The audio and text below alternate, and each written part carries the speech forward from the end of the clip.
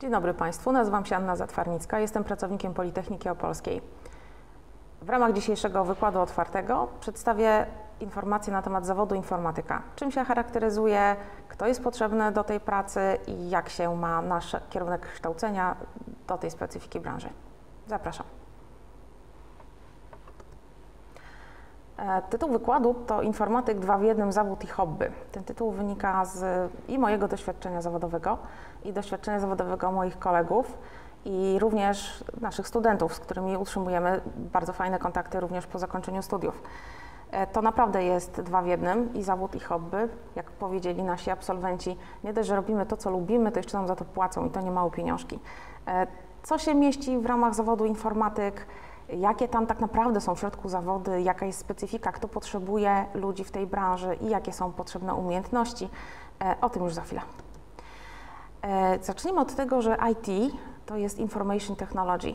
To nie jest nauka o komputerach, tak jak astronomia nie jest nauką o teleskopach. Niestety nie jest to cytat mojego autorstwa, bardzo żałuję, ale podpisuję się pod tym wszystkimi kończynami, jest naprawdę świetny. E, jeżeli chodzi o komputery, to, to na szczęście to nie tylko już teraz mamy komputery w informatyce. Mamy smartfony, mamy bransoletki, mamy różne bendy, mamy inne urządzenia, będzie tego coraz więcej. E, branża idzie w kierunku urządzeń typu wearable, takich do ubrania. Mamy bardzo dużo. One powinny fajnie działać, powinny się ze sobą integrować, powinny oferować nam możliwości albo uproszczenia naszej pracy, albo miłego spędzenia wolnego czasu. Ktoś to musi oprogramować. Być może to będziecie Wy, drodzy słuchacze. E, informatyk to nie jest programista i programista to nie jest informatyk. Zgodnie z bardzo fajnymi określeniami znalezionymi na Joe Monster, na pewno Państwo tam zabłądziliście, e, taki żarcik, że informatyk określa osobę, która ukończyła studia informatyczne, a programista osobę, która coś z tych studiów wyniosła. Mm, to jest żart. Tak naprawdę Mm, zawód programista mieści się w zawodzie informatyk ogólnie, natomiast y, bardzo często w ofertach pracy są te zagadnienia rozróżniane. O tym też będzie na dzisiejszym wykładzie. Y, programista to też nie zawsze informatyk, można programować różne urządzenia automatyki, sterowniki. Y, to nie zawsze mieści się w gestii studentów IT. Także jest tutaj delikatna różnica. Jeżeli będziecie zastanawiać się nad kierunkiem studiów, nad Waszym przyszłym życiem, to bardzo proszę jakby zwrócić uwagę na to, e, czy chcecie pracować z oprogramowaniem, czy chcecie pracować bardziej ze sprzętem, e, jakiego typu e, branża jest Wam bliższa. Bardzo ważna informacja, że studia są dla ludzi.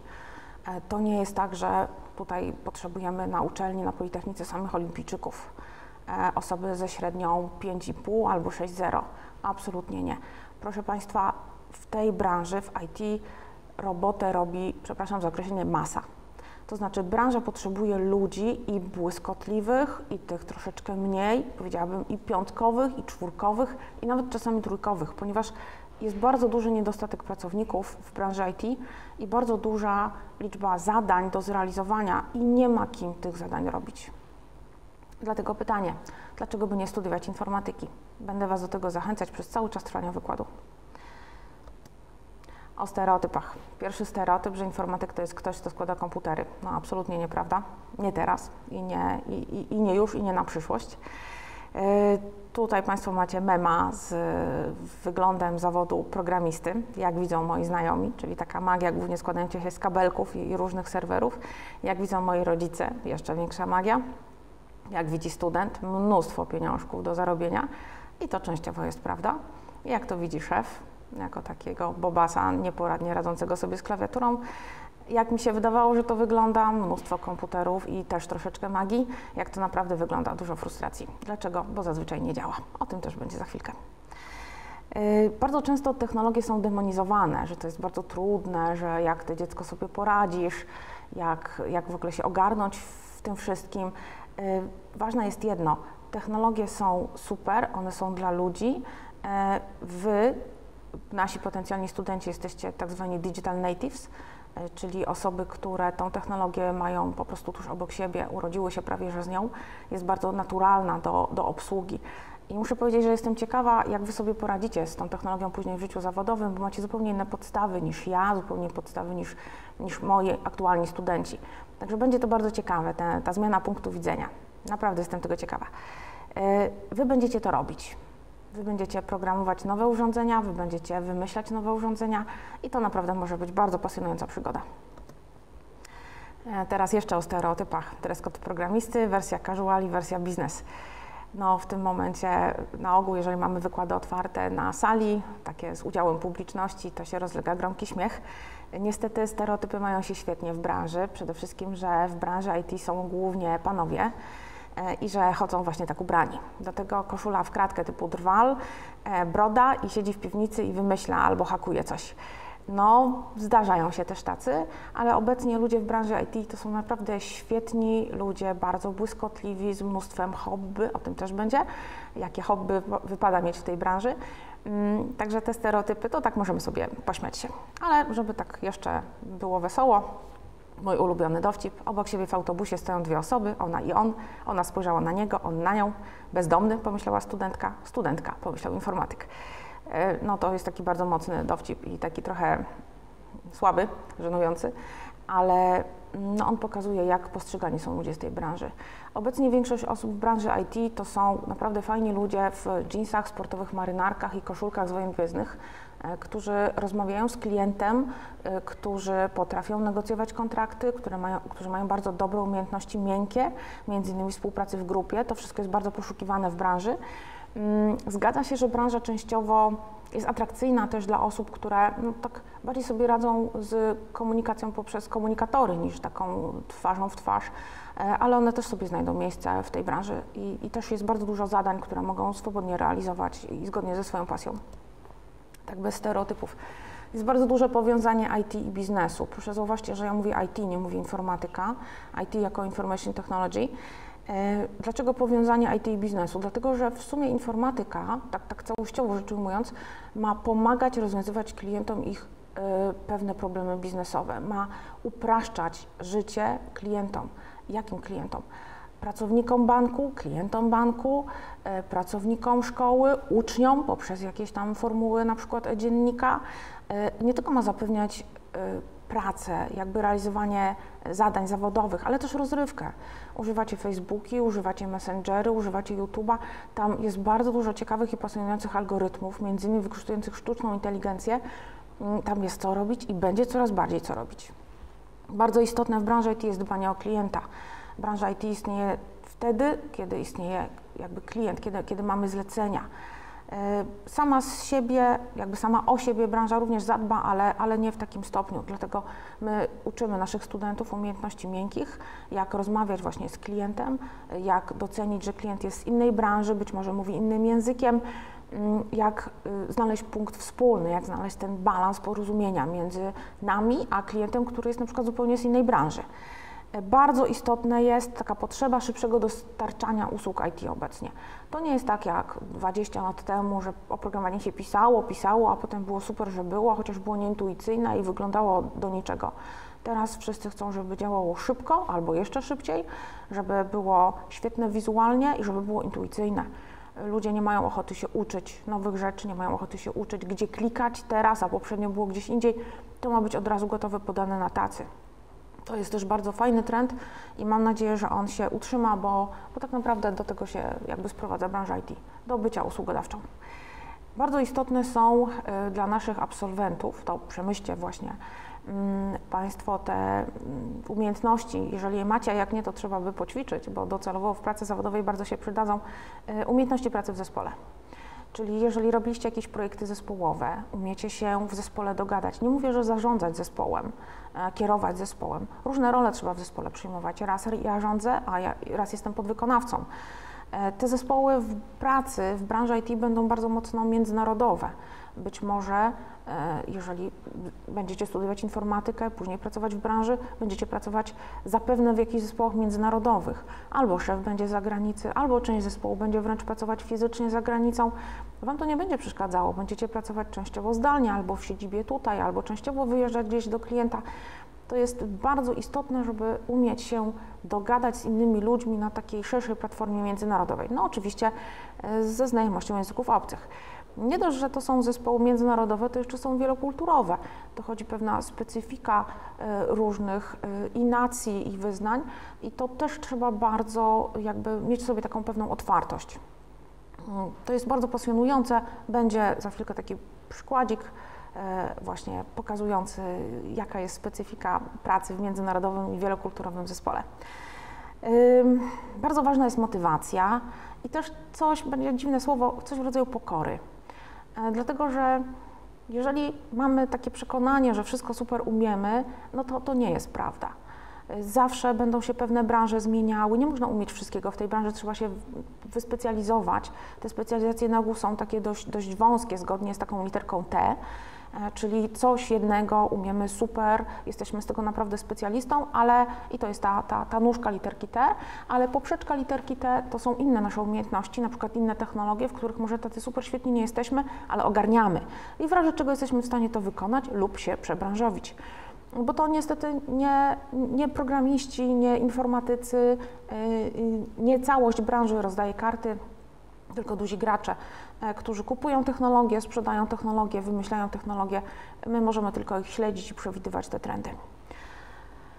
Zdarza nam się spotykać e, pewnych absolwentów, którzy no, troszkę pokorą nie grzeszą i, i mówią, umiem to i to, ile mi zapłacicie. No, najpierw trzeba pokazać swoje umiejętności, a potem dyskutować o, o ocenie swojej pracy i zarobkach na godzinę. Ale na ogół jeżeli spotykamy pracodawców, naszych studentów, naszych absolwentów, to są bardzo miłe rozmowy i nasi absolwenci potrafią się świetnie znaleźć w różnych jakby dziedzinach na rynku pracy IT. No właśnie, jak to się ma do sytuacji na rynku pracy? Ma się świetnie.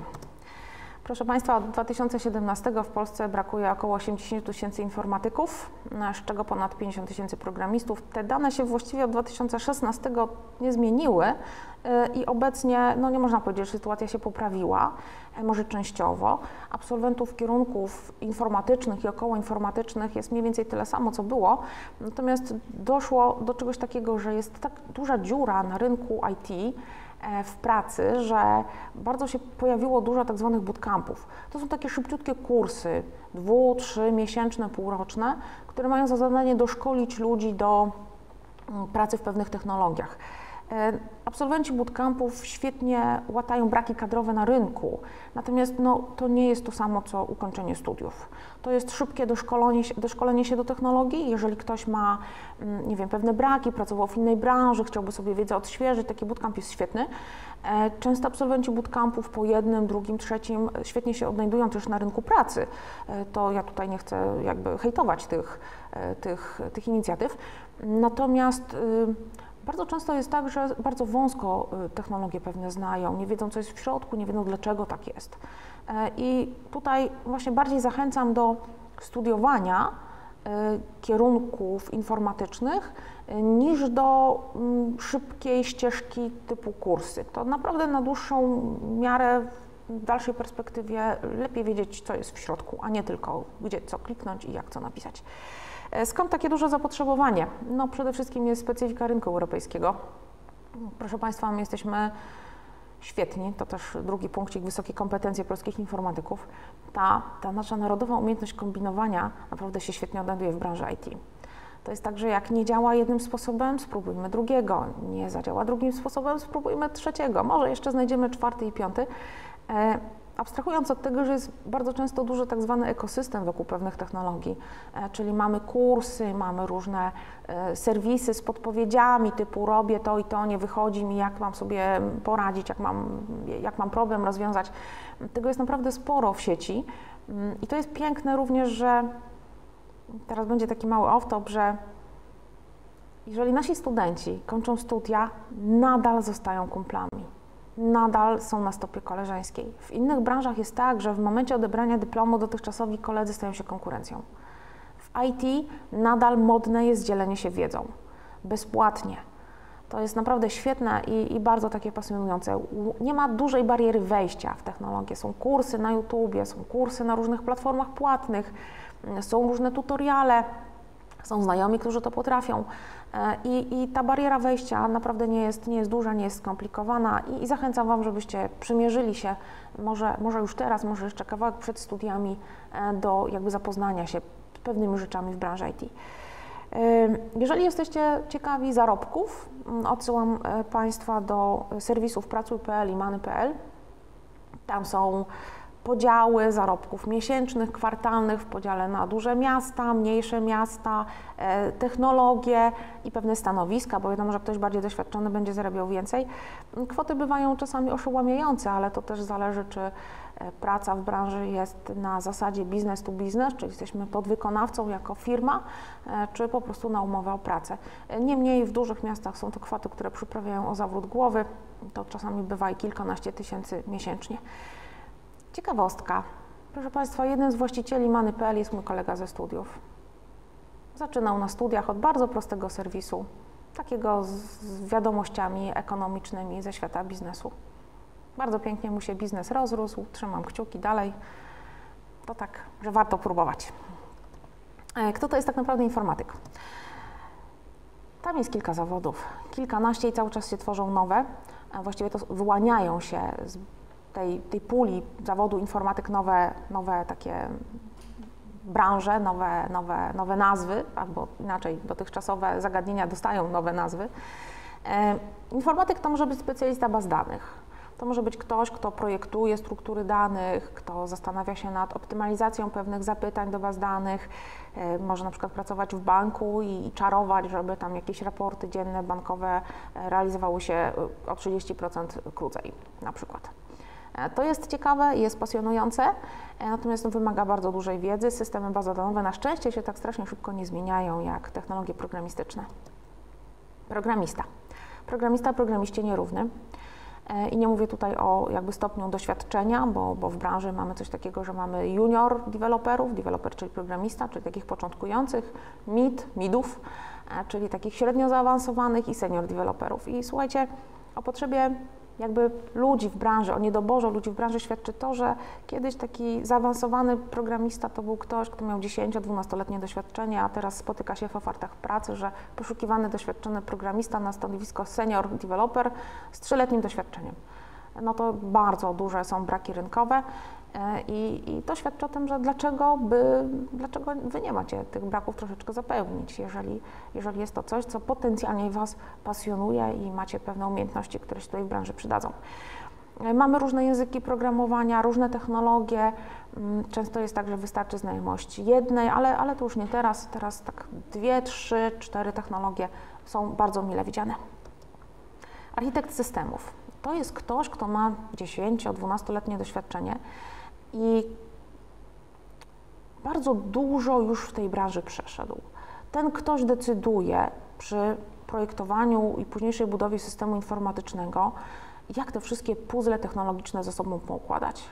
Na czym my to postawimy, w jakiej technologii zrobimy, czy będziemy robić to jako taki jeden wielki konglomerat, czy zrobimy sobie kilka mikroserwisów ze sobą współpracujących, czy lepiej użyć tej technologii, czy lepiej tej ze względu na swoje doświadczenie i ogarnięcie w branży, ten człowiek on to dobrze zrobi, zaprojektuje tak, że to będzie działało, jest w stanie przewidzieć pewne błędy, pewne mankamenty mm, i za to odpowiednio zarabia. To jest taka górna górka w branży IT. Wdrożeniowiec. E, usłyszałam od jednego wdrożeniowca, że ma strasznie parszywą robotę, bo wdrożeniowiec to jest ktoś, kto idzie do firmy, instaluje i uczy użytkowników. E, no tamten ktoś akurat tak no, troszkę zbyt technologicznie podchodził do tych użytkowników, których miał uczyć. E, natomiast e, wdrożeniowiec jest zawodem, który wymaga bardzo wielu umiejętności miękkich, żeby się nie obrażać na potencjalnych użytkowników, umieć im wyjaśnić, potrafić tak jakby dojść do nich i, i zrozumieć, że ktoś po prostu może mieć problem z, z obsługą pewnych opcji, pewnych funkcjonalności w serwisie. Grafik. No to do wszystkich Państwa przemawia. Mam takie dziwne wrażenie, że połowa naszych e, pierwszorocznych studentów to w ogóle chce iść, e, tak powiem, na grafikę. E, proszę Państwa,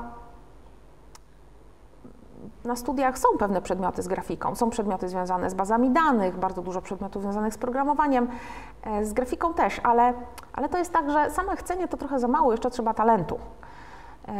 I, I, na przykład nie mamy zajęć z kompozycji, to, to bardziej na Akademiach Sztuk Pięknych. Natomiast podstawy grafiki, żeby nasi studenci, nasi absolwenci byli w stanie przygotować sobie taki layoutik swojego serwisu, dobrać kolory, żeby potrafili zrobić ikonki do aplikacji mobilnej, którą tworzą, to wszystko na studiach będzie.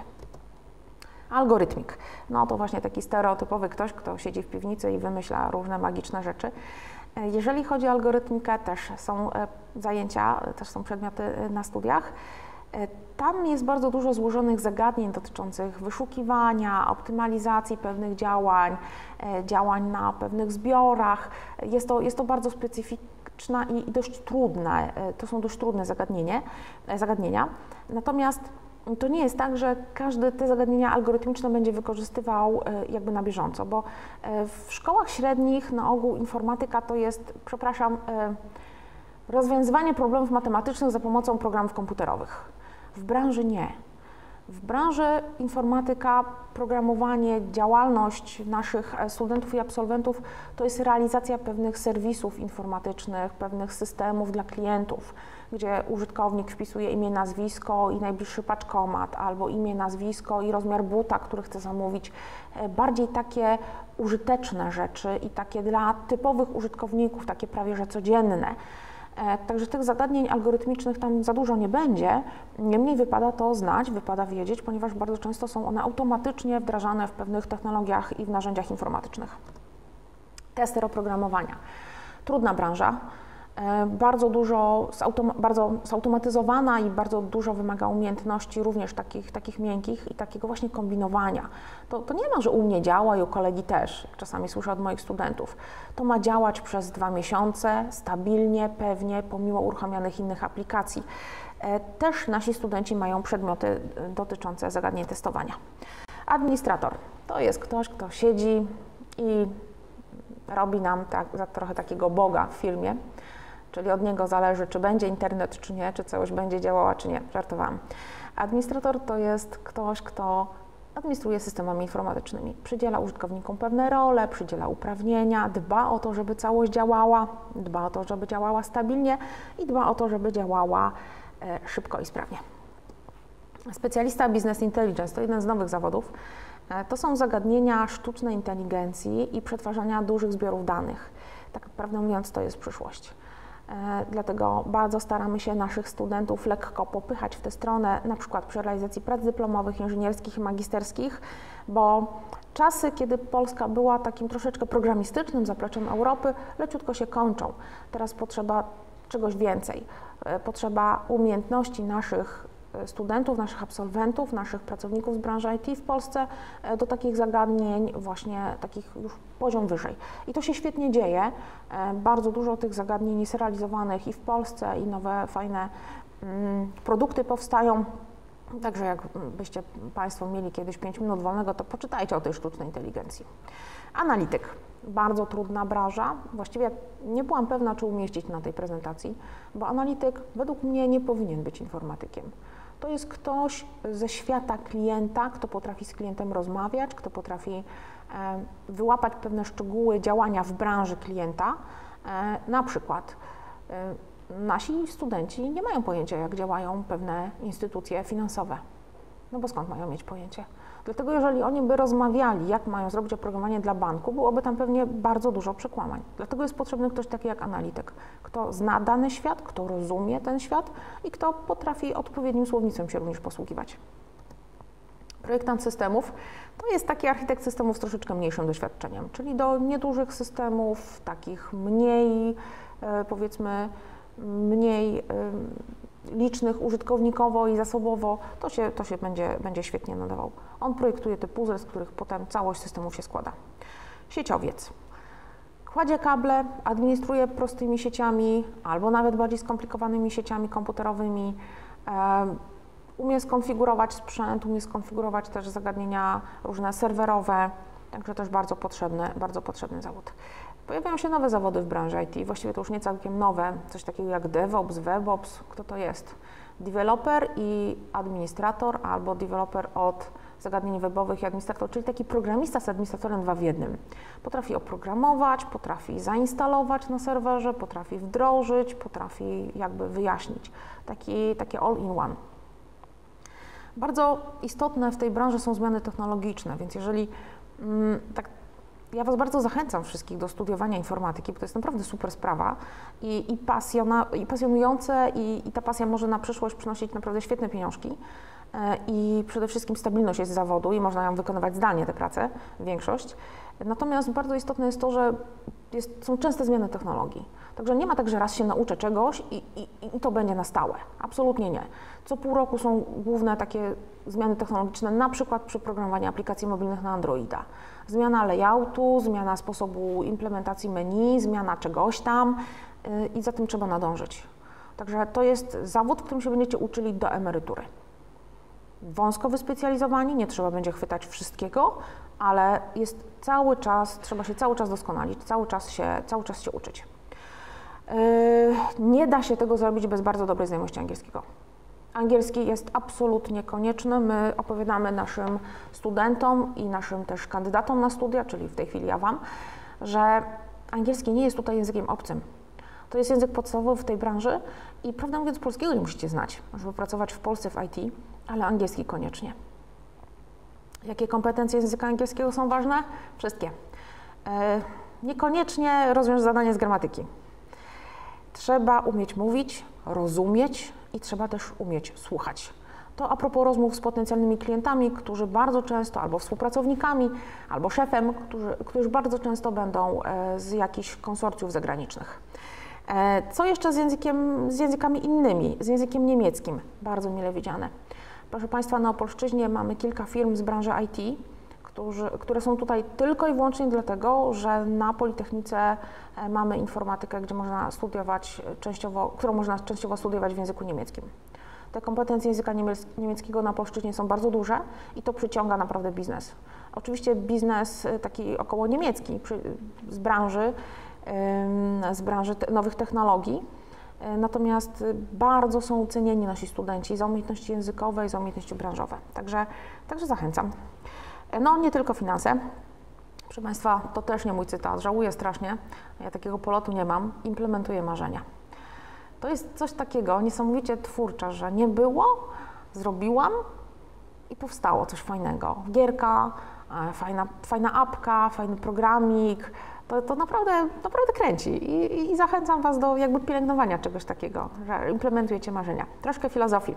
Proszę Państwa, to jest standardowy obrazek na wykłady z programowania, które mam ze studentami. Na pierwszym obrazku mamy mój kod nie działa, nie mam pojęcia dlaczego. To Wy na pierwszym roku, jeżeli do nas przyjdziecie na studia. E, albo Wy w pierwszej pracy. Na drugim obrazku mój kod działa, nie mam pojęcia dlaczego. To Wy, ale bardziej doświadczeni. To jest tak prawdziwe, że aż boli. E, jeszcze będzie o uprawianiu magii. E, to jest Joe Monster. Swoją drogą fajne branżowe kawałki możecie poczytać. Bycie programistą jest trochę jak bycie Harrym Potterem. Idziesz do pracy, czarujesz cały dzień i możesz o tym pogadać tylko z innymi czarodziejami. To jest troszkę problem, jeżeli mm, jakby osoby z innych branż nie rozumiem, nie, nie, nie, potrafią zrozumieć e, żartów z IT, żartów programistycznych, żartów informatycznych. Ja mam to szczęście, że mój mąż też jest z branży jest profesorem tutaj na Politechnice, natomiast sobie możemy porozmawiać na, na, na, ten temat. Natomiast te zagadnienia IT, one coraz bardziej się rozwijają szeroko na świat i coraz więcej osób jednak te żarty rozumie, także żeby Was to nie blokowało przypadkiem do przyjścia i studiowania informatyki. Jak użytkownicy widzą programistów? Jako takie ufoki. Mówi to to innym językiem, dogadać się nie idzie, zupełnie czymś innym się interesuje, w jakieś planszówki gra zazwyczaj. Jak programiści widzą użytkowników? No jaskiniowcy z maczugami na te oprogramowanie, takie delikatne przecież. Proszę Państwa, żeby te różnice, żeby te stereotypy e, jakby za, zatrzeć, e, jakoś zasypać, e, mamy specjalne przedmioty z naszymi studentami. Co robią pracodawcy, żeby załatać braki pracowników, te, o których mówiłam na początku? Proszę Państwa, podkupują pracowników. Bardzo często przy bramie wejściowej do dużej firmy, na przykład we Wrocławiu, są reprezentaci innej firmy konkurencyjnej i proponują przejście do pracy w innym zakładzie, żeby tylko mieć więcej pracowników. Braki kadrowe są naprawdę duże. Nie wiem, jak to będzie teraz w dobie pandemii, ale na razie nie słyszałam, żeby były bardzo duże jakby zmiany. Mm, bardzo często zatrudniane są osoby z branż ościennych. Są zatrudniane matematycy, astronomowie, fizycy, osoby z jakimikolwiek kompetencjami IT również, e, czyli e, również po kierunkach humanistycznych. Są doszkalani między innymi na wspomnianych bootcampach. Są naprawdę bardzo duże braki w branży IT. E, przy produkcji gier zatrudnia się pasjonatów. Tam nie jest ważne wykształcenie kierunkowe, tylko to, co potrafimy. E, czasami zatrudniany jest ktokolwiek, kto rokuje, że się nauczy. To już naprawdę desperacja. To bardzo często zależy od lokalizacji. W dużych miastach jest fajny, mm, jakby fajna rzesza ludzi z doświadczeniem, ale z kolei, jeżeli chcemy zatrudnić tysiąc osób początkujących programistów, to nawet duże miasto tyle nie ma. A to mniej więcej są takie układy. Wchodzi duża firma do Warszawy, wchodzi duża firma do Wrocławia, i na start potrzebuje tysiąca pracowników. Niesamowite roszady na rynku pracy to robi i, mm, i bardzo jest to jakby zaburzające dotychczasowy układ, bardzo ciekawe. E, branża gier. Dlaczego, dlaczego Wiedźmin, dlaczego Shadow Warrior? E, proszę Państwa, Wiedźmin dlatego, że jeden z naszych absolwentów jest szefem działu testów w City Project Red, właśnie pracującym przy Wiedźminie swego czasu. Odwiedził nas, przywiózł przypinek, plakatów, studenci byli zachwyceni. A Shadow Warrior dlatego, że, że swego czasu y, mój mąż był tam na wizycie studyjnej i też ciekawostki poprzynosił. Proszę Państwa, tam pracują ludzie z ponad 40 krajów. Tam pracują ludzie, po przekroczeniu progu w CD Projekt Red od razu zmieniacie język na angielski. Maile oficjalne po angielsku, rozmowy po angielsku. Dlaczego? Dlatego, że tam jest taki miks narodowości, że po prostu nie da się inaczej. Ci ludzie się polskiego nau nie nauczą, a są naprawdę świetni w tym, co robią, e, prawie, prawie magiczni e, i firmie bardzo zależy, żeby ich utrzymać.